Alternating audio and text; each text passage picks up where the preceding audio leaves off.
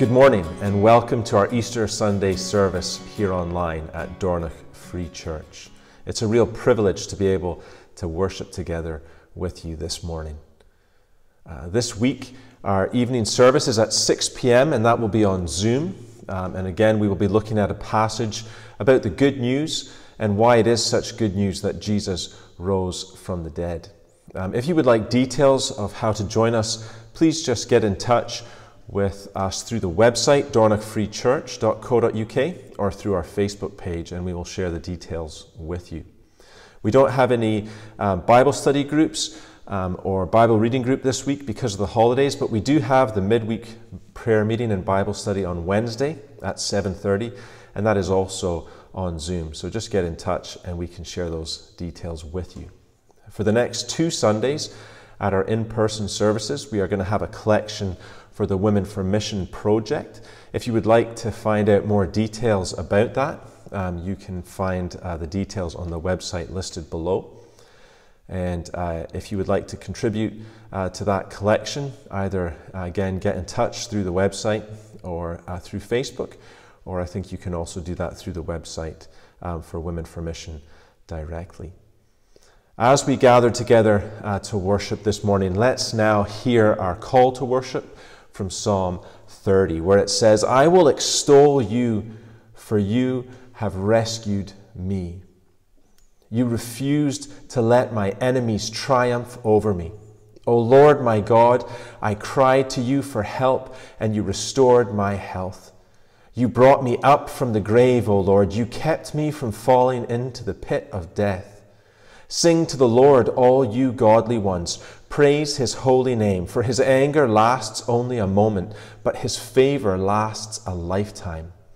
Weeping may last through the night, but joy comes with the morning.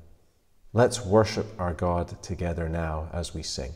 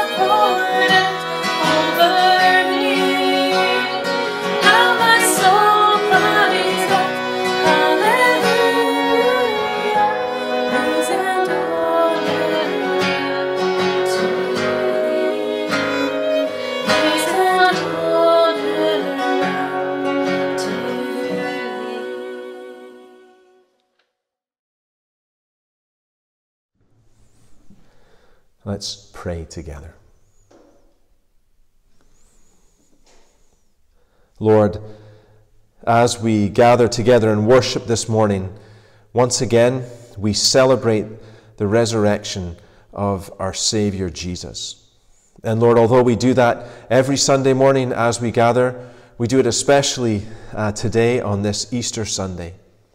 We remember how our Savior suffered and died on the cross for us, how he was willing to lay down his life in order that we might become children of God. And Lord, that he defeated the enemy death, and that on the third day he rose again. Lord, we thank you and praise you for our Savior Jesus. And as we uh, gather and worship this morning, Lord, we pray that you would be with our brothers and sisters wherever they are around the world. That as they too gather and remember our Savior Jesus, that they too would be encouraged and strengthened in Him. That as we meet, we would see our Savior and we would know afresh the hope and the joy and the peace that comes through Him. And Lord, we pray that especially for our brothers and sisters who today are being persecuted for their faith in you. We ask, Lord, that you would be with them and comfort them, that you would give them a boldness of faith, that as they suffer, that they would speak for you, and that those who um, are persecuting them and hurting them would see Christ in them, and that those that persecute them would see their need for our Savior and that they too would put their faith in Him.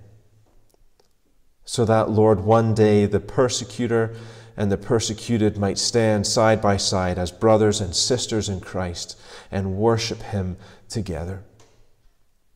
Lord, we pray that you would give us that boldness of faith also, that you would help us to speak of our Savior and to share the good news with others.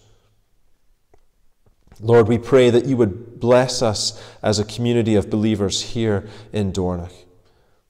And Lord, that now that we are able to, at least in part, start to meet together in person, that you would unite us in Christ, whether we are here in the building or whether we are at home. That we would remember that we are brothers and sisters uh, in Him, and that we would serve Him joyfully together and that we would serve one another out of a love for our Savior Jesus. And this morning, Lord, we pray especially um, for two of our sister congregations. We think of Golspie Free Church, and we ask that you would be with them this morning.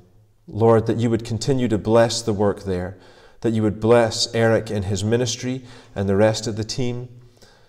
Lord, that uh, they would continue to grow as disciples of Jesus and that they would be a strong light for you in that community. We thank you for the relationships that they have fostered over the years and for the strong bond that there is between the congregation and many in the community. And we pray that you would help them um, to be salt and light for you, that others would be drawn into your kingdom. And we pray the same for our brothers and sisters in Bon Accord Free Church in Aberdeen.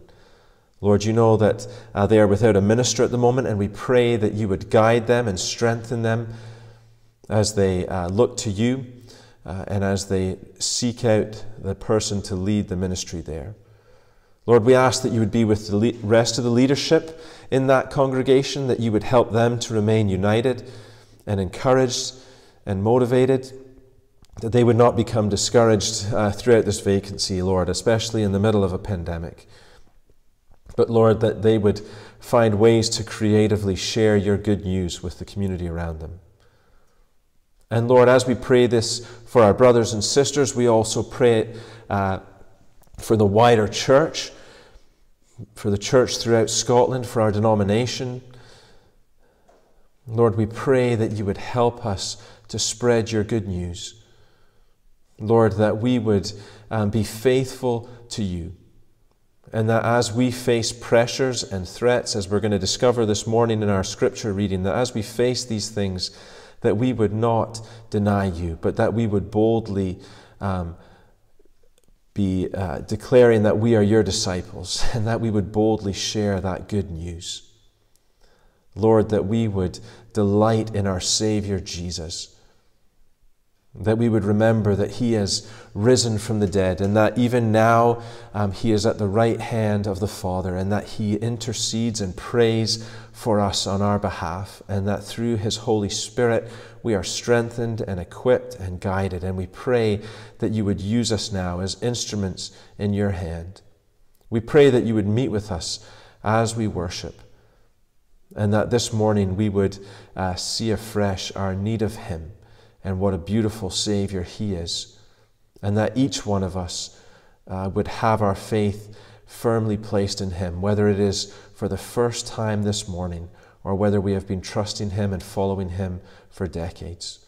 Lord, help us and draw us close to our Savior. In His name, Amen.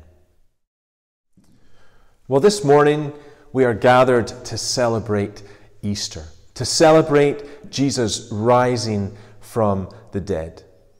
But maybe for some listening to this, it doesn't seem like such good news.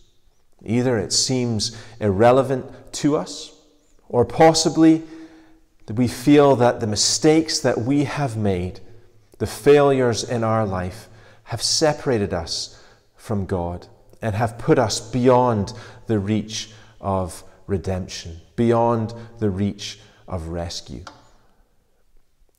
Some of us, possibly in the past, have said that we were Christians. We've put our faith in Jesus, but we feel so distant, distant from Him now that we wonder whether it really is good news for us. Surely our mistakes have separated us from Him and we have burnt our bridges. But I hope if that is the case for you, that this morning, as we turn to our reading together, that you will find great hope. This morning, I want us to look at the life of Peter and particularly one moment in his life and see how uh, Jesus dealt with his failure. But before we can do that, we need to find the backstory. We need to see how this all played out. And the story actually starts three years before that first Easter. It starts on the shore of Galilee, and Jesus is there preaching, preaching to a crowd early in the morning, and fishing boats are coming in after fishing all night. And the crowd is so big that Jesus is getting pushed closer and closer to the water. And eventually, he signals to one of the boats and asks if he can climb in. And he preaches and teaches to the people from the boat. As Jesus finishes preaching and as the crowds begin to disperse, he turns to the men in the boat and he says, Let's push the boat back out to sea and cast the net for some fish. And the guys in the boat say, Master, we have been fishing all night and we caught nothing. But if you really want to, we will. They go out they cast the net, and the net fills with fish to the point of bursting. The guys are excited and just so amazed at what is happening, and they call to their friend in another boat and they say, Come on, guys, over here and help us. And the two boats come and they start filling the boats with fish to try and stop the nets bursting. And there's so many fish that the boats begin to sink, and they finally get them to shore. And Peter, who, eh, whose boat it is that Jesus is in, he falls at Jesus' knees and says, Go away from me, I, can't, I am a sinner. I am not worthy. As he sees this miracle happening, he realizes that he is in the presence of somebody amazing, and he is aware of his own shortcomings and his own sins and failings. But Jesus says to him and to the guys in the other boat, um, brothers to John and his brother, and he, Jesus says to these guys, Come and follow me, and I will make you fishers of men.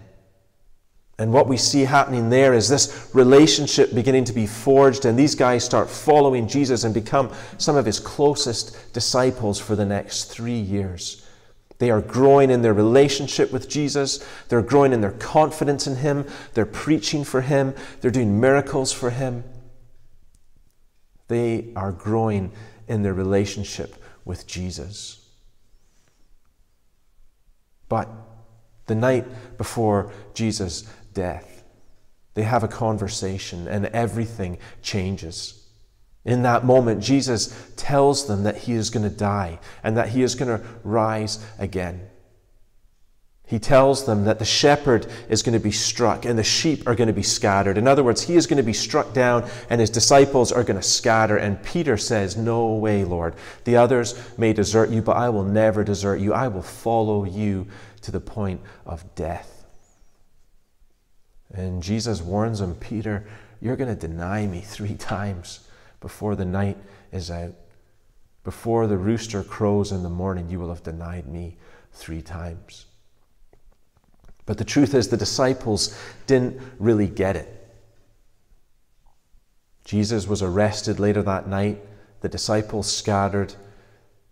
And although Peter had been boasting that he would follow Jesus, he becomes scared. He starts following at a distance, and then finally, he is in um, the court of the high priest outside his house, and Jesus has been tried there, and Peter doesn't even want to go and stand near him. And three times, Jesus, uh, Peter denies knowing Jesus as he stands next to this charcoal fire.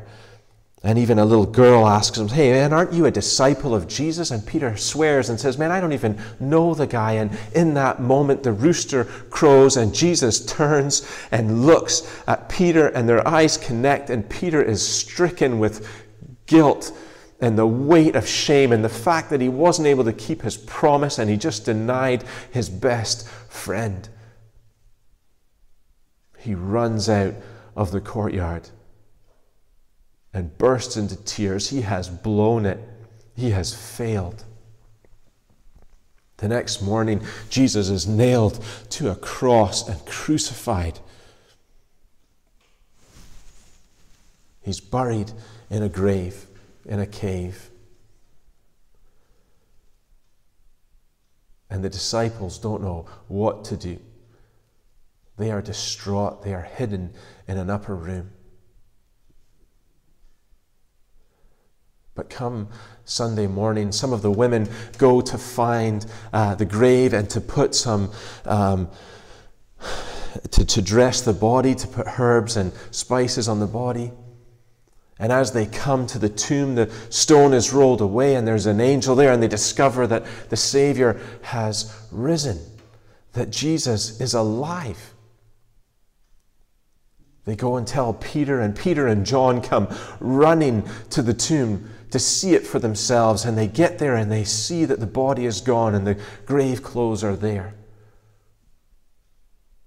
They start trying to put the pieces together, wondering where their Savior is. Has he really risen from the dead? And I'm sure in the back of Peter's mind, his denial of Jesus is echoing. Later that day, when they are in the upper room, Jesus appears to the disciples. And they are again just in shock. They think it's a ghost, but then they realize no, this really is Jesus raised from the dead. And he shares food with them. He eats some fish that they have. Eight days later, he appears to them again, and this time Thomas, who wasn't there, joins them, and he also sees Jesus, and he's able to put his finger in the wounds on Jesus' hand and to see the cut in Jesus' side. But Peter's relationship is not yet restored.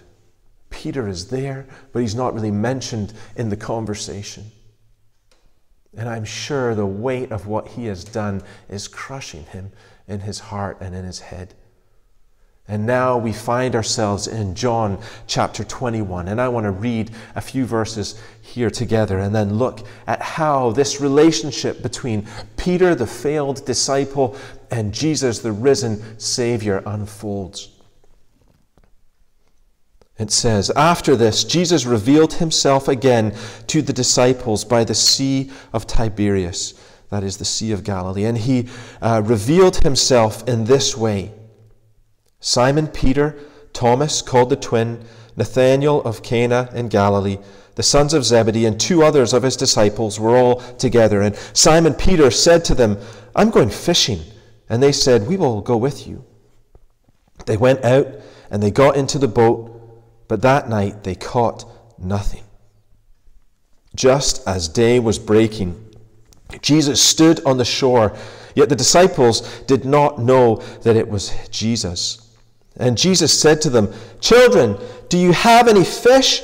And they answered him, No. And he said to them, Cast the net on the right side of the boat and you will find some. So they cast the net, and now they were not able to haul it in because of the quantity of fish. That disciple whom Jesus loved therefore said to Peter, It is the Lord.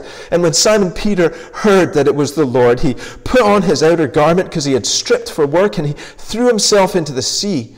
And the other disciples came in the boat, dragging the net full of fish for they were not far from the land, about a hundred yards off. And when they got out on land, they saw a charcoal fire in place with fish laid on it and bread.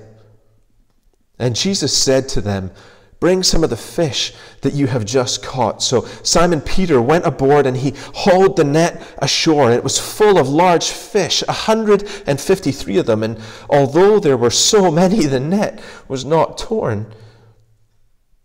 Jesus said to them, Come and have breakfast. Now, none of the disciples dared ask him, Who are you? because they knew it was the Lord. Jesus came and took the bread and he gave it to them, and so with the fish. This was now the third time that Jesus was revealed to the disciples after he was raised from the dead. And when they had finished breakfast, Jesus said to Simon Peter, Simon, son of John, do you love me more than these? He said to him, Yes, Lord, you know that I love you. He said to him, Feed my lambs. He said to him a second time, Simon, son of John, do you love me? He said to him, Yes, Lord, you know that I love you. He said to him, Tend my sheep. He said to him the third time, Simon, son of John, do you love me? Peter was grieved because he said to him the third time, Do you love me? And he said to him, Lord, you know everything. You know that I love you. Jesus said to him, Feed my sheep. Truly, truly, I say to you, when you were young, you used to dress yourself and walk wherever you wanted. But when you are old, you will stretch out your hand, and another will dress you and carry you where you do not want to go. This he said to show by what kind of death he was to glorify God. And after saying these things, he said to him, Follow me. Well, what I want us to do this morning is look at this passage. We've seen already that Peter failed as a disciple. He had denied Jesus three times. And as we began our reading here, we see that the reason that uh, John has included this in his gospel is he wants to show us how Jesus revealed himself to the disciples and how Jesus restored Peter. And what we find that as we open the chapter here, that Peter um, has and the other disciples have made the 150 kilometer journey from Jerusalem, where Jesus had been crucified and where they had had that last supper with him. They've made the 150 kilometer uh, journey north, back up to their home, back to the Sea of Galilee. Peter has failed as a disciple. But he is hungry and they are in need. And he goes back to doing the one thing that he knows he can do. He goes back to fishing.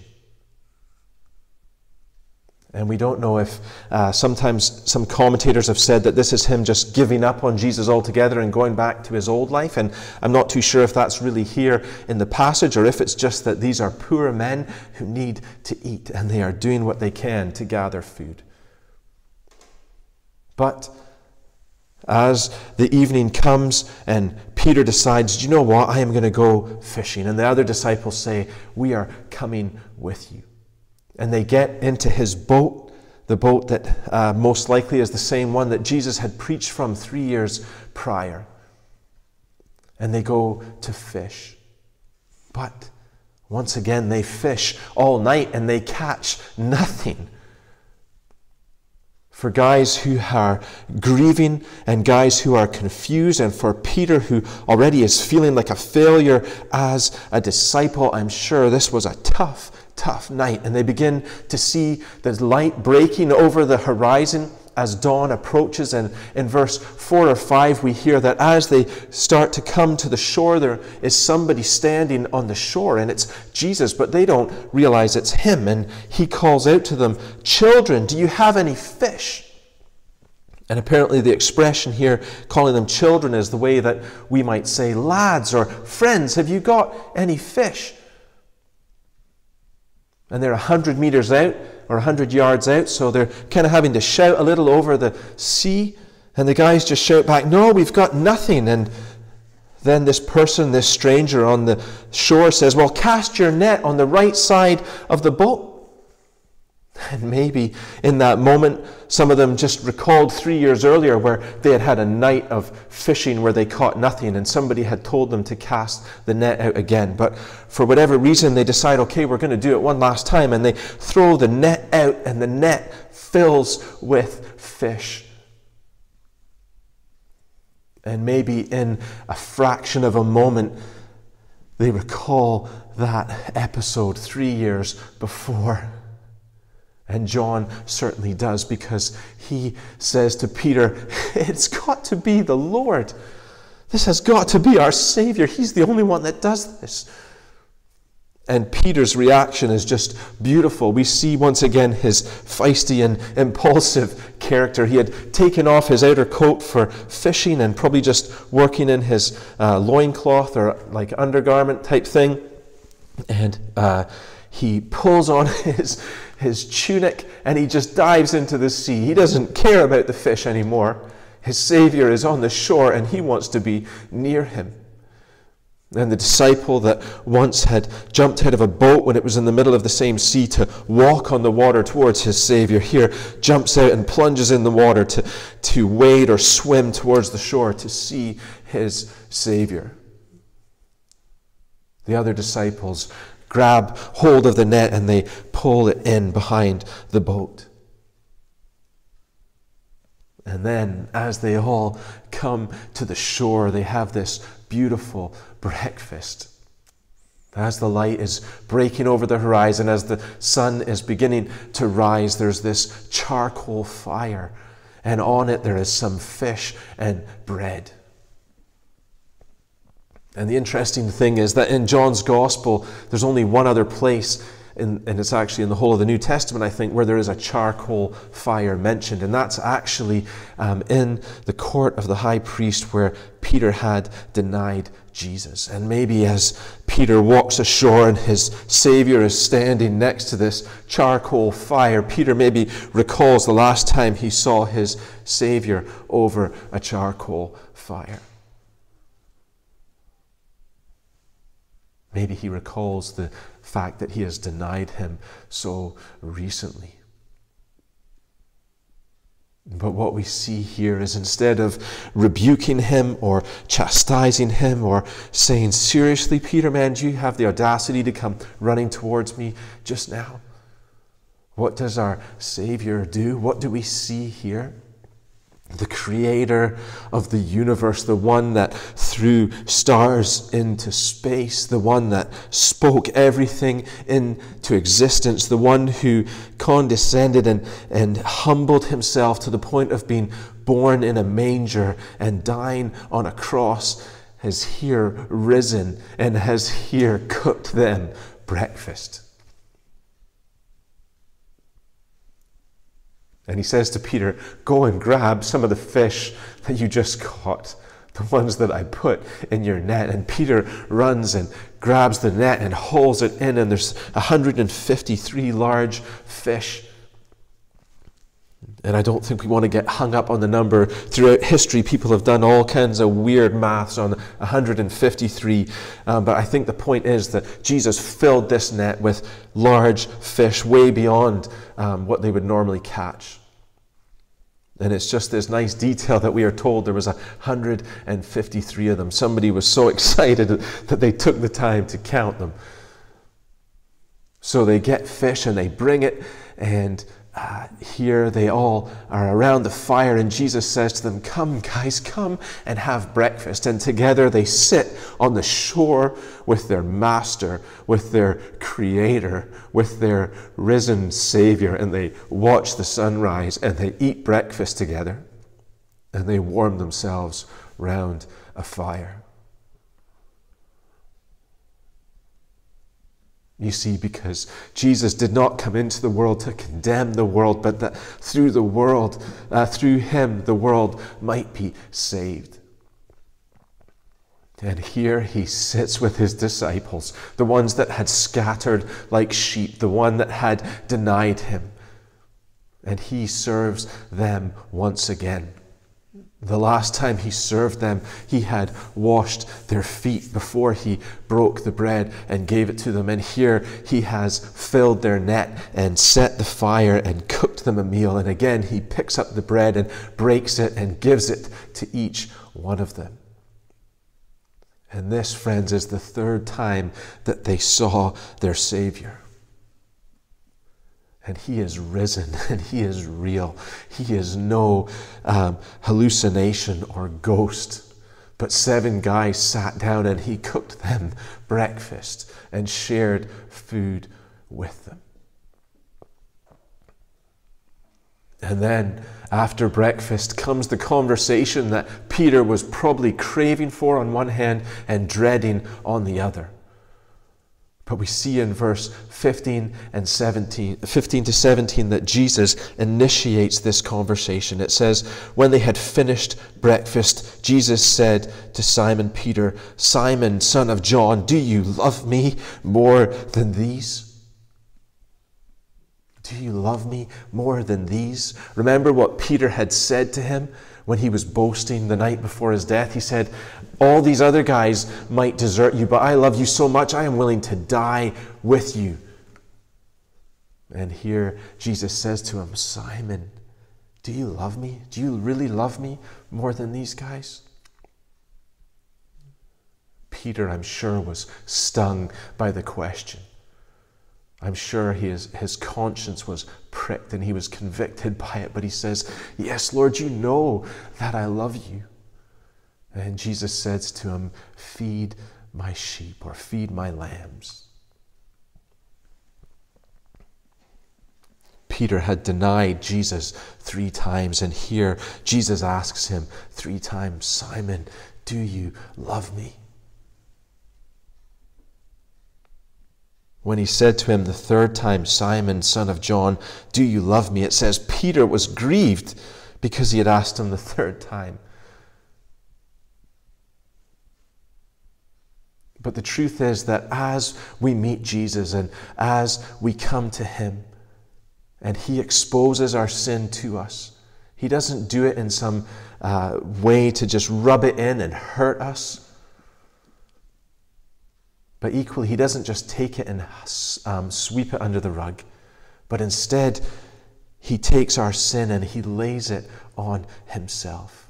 And as we acknowledge our sin and repent of it, it stings. As we acknowledge that we are sinners, it can grieve us, it can hurt us. But, friends, what a joy, what a blessing, what a delight and freedom comes through uh, the humble act of acknowledging that we are sinners before our Savior and acknowledging our love for Him. Repentance is painful as we turn away from sin, but as we turn away from the empty bitterness of sin, we turn to one who reaches out to us with outstretched arms and pierced hands and welcomes us as our Savior. And what's interesting is look at how Peter responds. He says, Lord, you know everything, and you know that I love you. I think in this moment, Peter is just acknowledging that he delights in being known by his Savior. He's saying, Jesus, you know my heart. You know that I'm a sinner. I said to you I was a sinner the first time I met you, and you know me better than I know myself. But you also know that I do love you. And once again, Jesus says to him, Feed my sheep. And what's interesting here, friends, is notice that each time that Jesus asks Peter, Do you love me? And each time that Peter says he does, Jesus says to him, Feed my sheep, or feed my lambs, feed my flock. And notice what is happening here that as we come to our Savior Jesus, if we truly love Him, the way that we show our love to, uh, to Him isn't by becoming zealous and aggressive to defend him violently against anyone who would oppose him. It's not through um, really confidently talking about him all the time or being really eloquent. The way that we demonstrate our love to our Savior is primarily through the way that we love and serve his people. It is through the laborious task of serving one another out of love for our Savior. And that is what Jesus calls Peter to here. And the first time that uh, Jesus performed this miracle of this amazing catching of fish three years before, he had said to the disciples, Come and follow me, and I will make you fishers of men. But here, uh, on this occasion, Jesus isn't calling Peter to be a fisher of men, but to be an under shepherd, to shepherd his people. He's saying, If you love me, Peter, then love my flock and care for them and feed them. And then what follows in verses to 18 and, and 19 is where uh, Jesus tells Peter how he is going to die. In that moment, Peter comes full circle. Christ um, allows Peter to affirm his love three times after denying him three times. And then he tells him um, that actually that promise he made that he would be willing to die for his Savior, Jesus is saying, you will die for me. You will lay down your life in serving me and my people. And this may seem discouraging. This may seem like um, a punishment or some kind of criticism. But actually, what Jesus is doing here is reassuring and affirming Peter He's saying to Peter, I have a plan for you, and you are one of my disciples. And yes, it's going to involve pain and service and struggle, but know that you are mine, and know that I love you. And when you think about it, friends, that I am sure that this conversation, this, um, this uh, restoring of that relationship that Peter had with Jesus. And this promise that Jesus gives him here would have been a huge strength to Peter in his final days when he was captured and led away and killed. I'm sure this conversation echoed in his ears. So, what does this have to do with us? What does this teach us? Well, as Peter denied Jesus, what Peter failed to grasp was that as he disassociated himself from Jesus in that moment, just before, uh, in the night before Jesus' death, as Peter's fear and shame gripped him and he separated himself from Jesus, that actually in that moment the Savior was associating himself with Peter and with Peter's sin.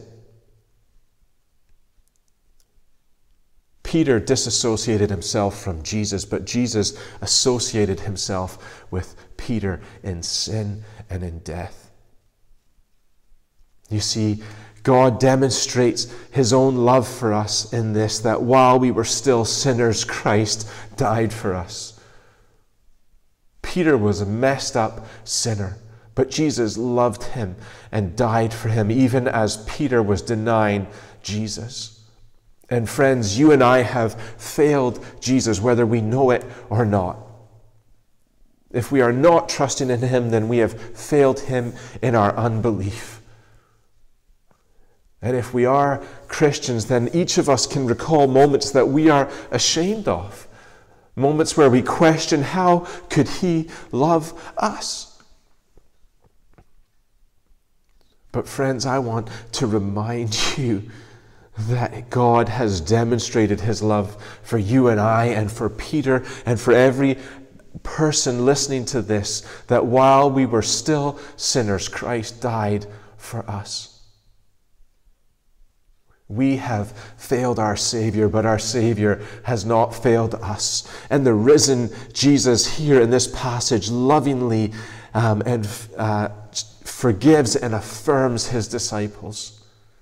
He meets them where they are in their messed up state, and he restores them and loves them and encourages them. So, friends, however messed up you may be feel, however weak you maybe feel your faith is, however much of a failure you maybe feel as a Christian. Let me assure you that you are not so far away from Him that you cannot be saved. And that your salvation doesn't depend um, on your performance. Your, what saves you isn't how good you are for Jesus, but how good He is for you and how He has taken on your sin and borne it on that cross and died the death that you and I should have died and taken that wrath that God was pouring out on sin and taken it on Himself so that you and I can be saved and have His righteousness put on us and that you and I could be called children of God. This is the risen Lord. This is why we celebrate Easter this morning. So come as you are to this Savior. And yes, as we do that, He is going to expose our sin to us. And it may be a difficult and painful conversation, but He does it out of love. And He calls us, as He does to Peter here, to demonstrate our love for Him and to follow Him. May God bless us as we do that. Let's pray together. Lord, we thank you for the way that you have demonstrated love for us through our Savior Jesus, that while we were yet sinners, Christ died for us. What a beautiful Savior. And Lord, we praise you and thank you that He has conquered death and that He is risen and that He is with you now and that you call us to follow Him. Lord, go with each one of us. Help us, give us the strength to turn from our sin and to turn to you, that you would grant each one of us that repentance, and that you would help us moment by moment, day by day, to follow our Savior, Jesus. And we ask these things in his glorious name. Amen.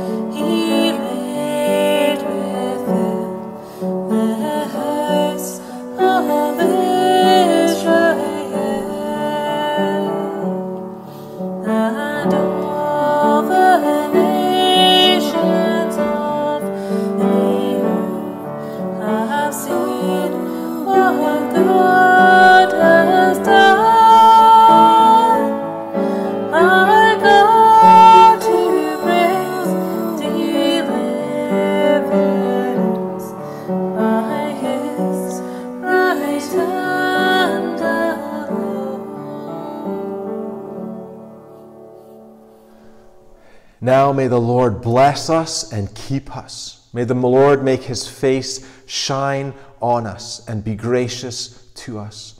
And may the Lord turn his face towards us and give us peace through our Savior Jesus. Amen.